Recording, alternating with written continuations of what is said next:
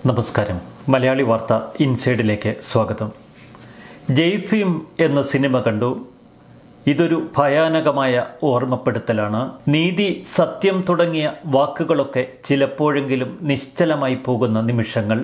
ഇത് ഇരുളിൽ നിന്ന് വെളിച്ചത്തിലേക്കുള്ള ഒരു യാത്രയാണ്. പക്ഷേ ആ വെളിച്ചം ഭയാനകമായ പലതും നമുക്ക് പറഞ്ഞു തരുന്നു. ഇരുട്ടിന് എത്രമാത്രം രൗദ്രഭാവമുണ്ട് എന്ന് നമ്മൾ മനസ്സിലാക്കുന്നത് ഈ സിനിമയുടെ ഇതിവൃത്തത്തിലേക്ക് മനസ്സിനെ പറിച്ചു നടുമ്പോഴാണ് ദളിതരെയും ആദിവാസികളെയും ഒന്നും മനുഷ്യരായി പോലും അംഗീകരിക്കാത്ത ഒരു കൂട്ടം ആളുകൾ.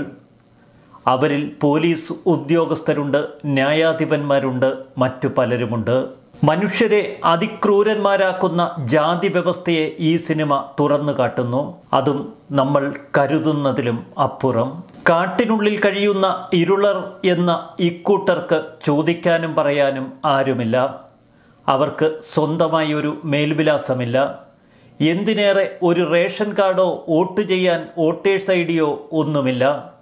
ജീവിച്ചിരുന്നു എന്നതിന്റെ സാക്ഷ്യപത്രമൊരുക്കാൻ ഒരു ഫോട്ടോഗ്രാഫില്ല ഒരു വ്യക്തി എന്ന് പറയാൻ അവർ ജീവിച്ചിരിക്കുമ്പോൾ അവരുടെ മുന്നിൽ വരുന്ന അടയാളങ്ങൾ മാത്രം. അങ്ങനെയുള്ള കുറേയേറെ കുടുംബങ്ങൾ ഒരുമിച്ച് ജീവിക്കുന്നു.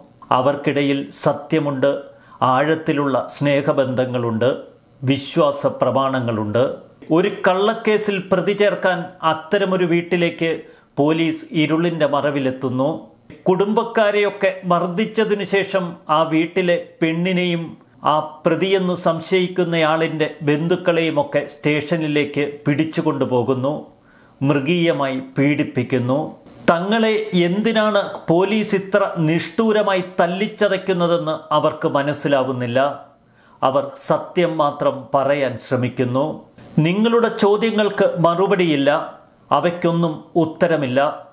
പകരം ഷൂസിട്ട ചവിട്ടലുകളും നിങ്ങളുടെ വാരിയല്ലുകൾ ഒടിയുന്ന ശബ്ദവും. ഒരിക്കലും ചെയ്യാത്ത കുറ്റം നിങ്ങൾ ഏറ്റെടുക്കാൻ തയ്യാറാവുന്നില്ല. അവിടെയാണ് ഇരുളിന്റെ മക്കൾ വീണ്ടും ചർച്ചയാവുന്നതും. ഒരു സഹോദരനും സഹോദരിയും പിന്നെ അവരുടെ മരുമക്കളും ഈ മൂന്നാണങ്ങളെയും നിഷ്ഠൂരമായി പോലീസ് തല്ലിച്ചതയ്ക്കുന്നു. കൂട്ടത്തിലുള്ള സ്ത്രീയെ പോലീസ് ഉപദ്രവിക്കുമ്പോൾ അവർ അരുതെന്ന് നിലവിളിക്കുന്നു. അവരുടെ ശബ്ദം പോലും പുറത്തു വരുന്നില്ല. ആരാട ആ പറഞ്ഞതെന്ന് ചോദിച്ച് പോലീസ് ആണൊരുത്തനുണ്ടെങ്കിൽ നിന്റെ ആണത്വം തെളിയിക്കാൻ പറഞ്ഞുകൊണ്ട് സ്ത്രീയുടെ പാവാട വലിച്ചു കീറി അവളെ നഗ്നയാക്കുന്നു. ആയിരത്തി തൊള്ളായിരത്തി തൊണ്ണൂറ്റി മൂന്നിൽ നടന്ന യഥാർത്ഥ സംഭവത്തെ ആധാരമാക്കിയുള്ള ചിത്രം. ചെന്നൈ ഹൈക്കോടതി ജസ്റ്റിസായിരുന്ന കെ ചന്ദ്രുവിന്റെ അഭിഭാഷക ജീവിതത്തിനിടയിൽ നേരിട്ട് അനുഭവിച്ചറിഞ്ഞ ഒരു കഥ. അദ്ദേഹം തന്നെ ഇപ്പോൾ പറയുന്നത് ഈ സിനിമയിൽ പറഞ്ഞിരിക്കുന്ന കഥയിൽ തൊണ്ണൂറ്റി അഞ്ച് ശതമാനവും യഥാർത്ഥ സംഭവങ്ങളെന്ന്. ഇരുള ഗോത്രത്തിൽപ്പെട്ട ഒരു കുടുംബം അവിടെ രാജാക്കണ്ണ് ഡെങ്കിനി ദമ്പതികൾ അവരുടെ സ്നേഹവും ഇഴയടുപ്പവുമൊക്കെ കൃത്യമായി ചിത്രീകരിച്ചിരിക്കുന്നു. അവരുടെ ജീവിതത്തിലേക്കാണ് നിയമവ്യവസ്ഥയുടെ അന്യായമായ കടന്നുകയറ്റം. ഒരു പോലീസ് ഉദ്യോഗസ്ഥന്റെ സ്വാർത്ഥതയ്ക്ക് വേണ്ടി ഒരു കുടുംബത്തെ മൃഗീയമായി വേട്ടയാടുന്നു. ഗ്രാമത്തിലെ ജാതീയമായി ഉന്നത നിലയിലുള്ള ഒരാളുടെ വീട്ടിലെ മോഷണം. യഥാർത്ഥ മോഷ്ടാവിനെ കണ്ടെറിഞ്ഞ പോലീസ് പണം വാങ്ങി അയാളെ രക്ഷിക്കുന്നു.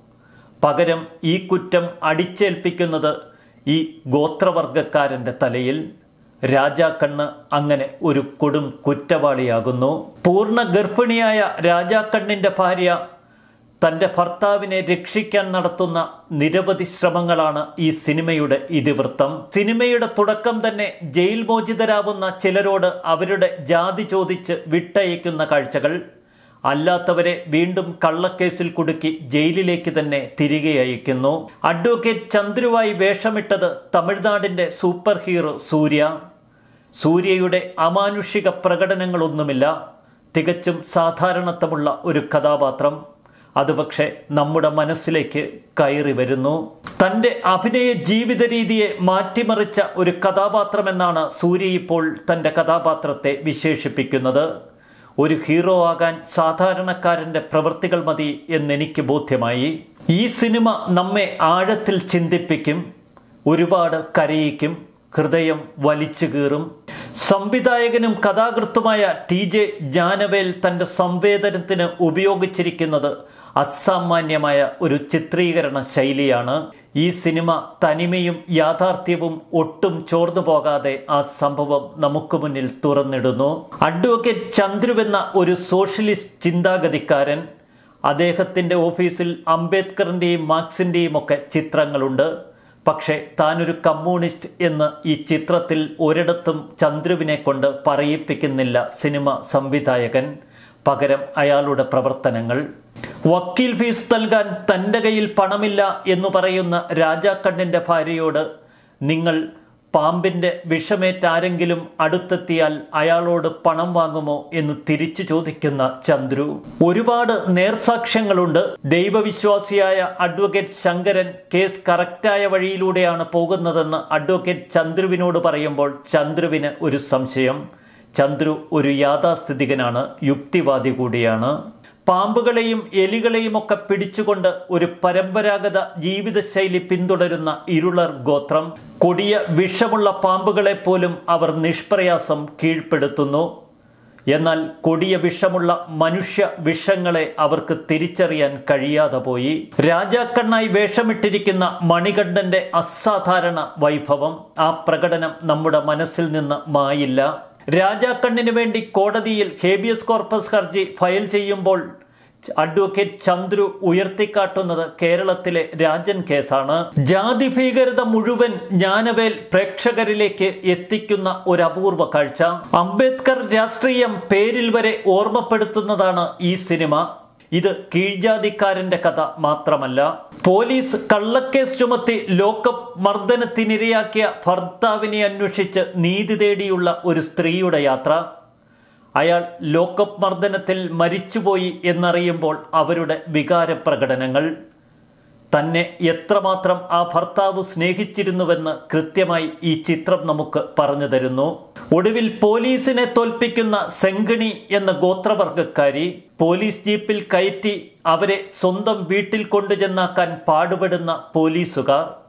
എന്തിനേറെ സംസ്ഥാന ഡി ജി പി പോലും സെങ്കിണി എന്ന ആ സ്ത്രീയുടെ മുന്നിൽ തോറ്റു നിൽക്കുന്ന കാഴ്ച. തന്റെ ഭർത്താവിന്റെ ജീവന് പകരമായി വച്ചു നീട്ടിയ ഒരു ലക്ഷം രൂപ. അവർ അതിന് മറുപടി പറഞ്ഞത് ഈ ഒരു ലക്ഷം രൂപ ഞാൻ വാങ്ങിയാൽ എന്റെ ഭർത്താവിൽ എനിക്ക് ജനിക്കുന്ന കുഞ്ഞ് നാളെ എന്നോട് എന്തു ചോദിക്കുമെന്നാണ്? നിങ്ങൾ അവരുടെ ഭർത്താവിനെ ഇല്ലാതാക്കി. ഇന്ന് നിങ്ങൾ തരുന്ന ഈ പണം കൊണ്ട് നാളെ എന്റെ കുഞ്ഞുങ്ങൾക്ക് ഭക്ഷണം മേടിച്ചു കൊടുത്താൽ അവർ എന്നെ കുറ്റപ്പെടുത്തും. സാധാരണ ഒരു അമാനുഷിക ഹീറോ ആയി സൂര്യയെപ്പോലെയുള്ള കഥാപാത്രങ്ങൾ പ്രത്യക്ഷപ്പെടുമ്പോൾ ഇതിൽ തികച്ചും വ്യത്യസ്തനാണ് സൂര്യ എന്ന നടൻ. അഡ്വക്കേറ്റ് ചന്ദ്രുവിന് ചില ഹീറോയിക് വശങ്ങളുണ്ട് എന്നത് സത്യം തന്നെ. പക്ഷേ ചിത്രത്തിലെ ഗോത്രവർഗക്കാരി സെങ്കിണിയുടെ ഹീറോയിസം ഇതുമായി താരതമ്യം ചെയ്യുമ്പോൾ ഒന്നുമല്ല. ഗോത്രവർഗക്കാരുടെ കുടുംബങ്ങളുടെ അഭിനയമൊക്കെ അസാമാന്യ പകർന്നാട്ടം തന്നെയാണ്. ഒരിക്കലും നമ്മുടെ മനസ്സിൽ നിന്ന് മായില്ല. പ്രേക്ഷകന്റെ ഉള്ളിൽ തൊടുന്ന അഭിനയം കാഴ്ചവെക്കുന്നത് രാജാക്കണ്ണായി വേഷമിടുന്ന മണികണ്ഠനാണ്. അസാധാരണ നടന വൈഭവം. സ്റ്റേഷനിൽ ക്രൂരമർദ്ദനത്തിന് ഇരയാക്കപ്പെടുന്ന രാജാക്കണ്ണിന്റെ ഓരോ അഭിനയ മുഹൂർത്തവും മനസ്സിൽ തങ്ങി നിൽക്കും. ഒരുപറ്റ് ചോറ് പോലും ഇറക്കാനാവാതെ ഇരിക്കുമ്പോഴും രാജാക്കണ്ണ് ചെയ്യാത്ത കുറ്റം ഏറ്റുപറയാൻ തയ്യാറല്ല. സിനിമയുടെ അവസാന ഭാഗത്ത് കസേരയിൽ കാൽക്കയറ്റി വെച്ചിരുന്ന് പത്രം വായിക്കുന്ന സെങ്കിണിയുടെയും രാജാക്കണ്ണിന്റെയും മകളായ അല്ലിയുടെ ആ ചിത്രം.